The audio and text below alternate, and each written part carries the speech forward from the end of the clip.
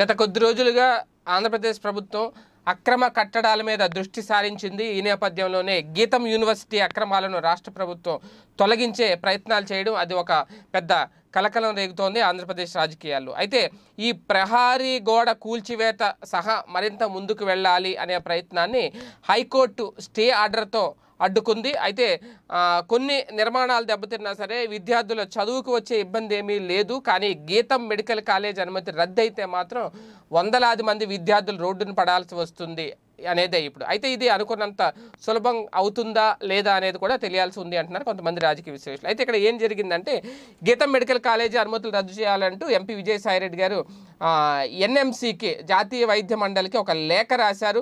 అదే ఇప్పుడు రాష్ట్ర రాజకీయాల్లో కలకలంగా మారింది. ఎందుకంటే నిబంధనలు అతిక్రమించడంతో పాటు అవకతవకలకు పాల్పడిన విశాఖపట్నంలోని గీతం యూనివర్సిటీ అంటే Gitam institute of medical science and research దీని మీద ఇమీడియట్గా చర్యలు తీసుకోవాలి అంటూ జాతీయ వైద్య మండలికి విజయసాయిరెడ్డి గారు ఒక లేఖ రాశారు.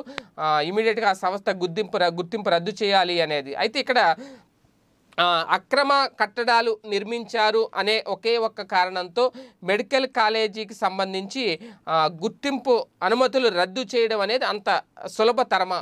అంత సాధ్యమయ్యే పనేనా అనేది ఇప్పుడు రాజకీయ విశ్లేషకులు ఒక చర్చ మొదలైంది. ఎందుకంటే మొత్తంగా చూసుకుంటే గీతం విద్యా సంస్థలు ఎండాడ ఎండాడ గ్రామంలో నలభై పాయింట్ ఐదు ఒక్క ఎకరాల ప్రభుత్వ భూ- భూమిని ఆక్రమించాయి అనేది విజయసాయిరెడ్డి గారు చేస్తున్న ప్రధాన ఆరోపణ.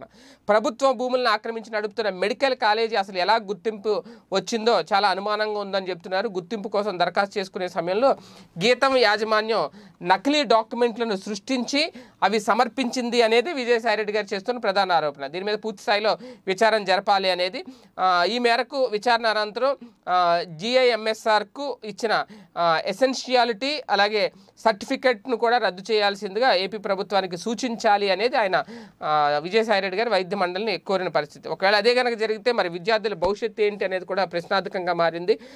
ఎందుకంటే చాలామంది అక్కడ మెడికల్ స్టూడెంట్స్ చాలామంది ఉంటారు కాబట్టి ఒకవేళ ఇమీడియట్గా ఆ కాలేజీ మెడికల్ కాలేజ్ అనుమతులు రద్దు చేస్తే వాళ్ళందరి భవిష్యత్తు అంధకారంలోకి పడే అవకాశం ఉంది అంటున్నారు కొంతమంది. అయితే దీన్ని కొంతమంది రాజకీయం చేయాలని చూస్తున్న నేపథ్యంలో వాళ్ళకి ఆల్టర్నేటివ్ ఏదో ఒకటి ఆలోచించే ఆ మెడికల్ కాలేజ్ అనుమతులు రద్దు అయితే జరుగుద్ది. ఒకవేళ ఆ పరిస్థితి వస్తే అనేది. అంతే తప్ప విద్యార్థులు భయపడాల్సిన అవసరం లేదు అంటున్నారు కొంతమంది విద్యావేత్తలు. సో ఓవరాల్గా చూసుకుంటే అసలు అనుమతులు రద్దు చేసే అవకాశం ఉందా లేదా దీని మీద జాతీయ వైద్య మండలి ఎటువంటి స్పందన వస్తుంది? వైద్య మండలి నుంచి జ విజయసాయిరెడ్డి గారు రాసిన లేఖ అనేది వేచి చూడాల్సిన అవసరం ఉంది. ఈ వీడియో గనుక మీకు నచ్చినట్లయితే లైక్ చేయండి షేర్ చేయండి. మరిన్ని వీడియోస్ కోసం మా ఛానల్ను సబ్స్క్రైబ్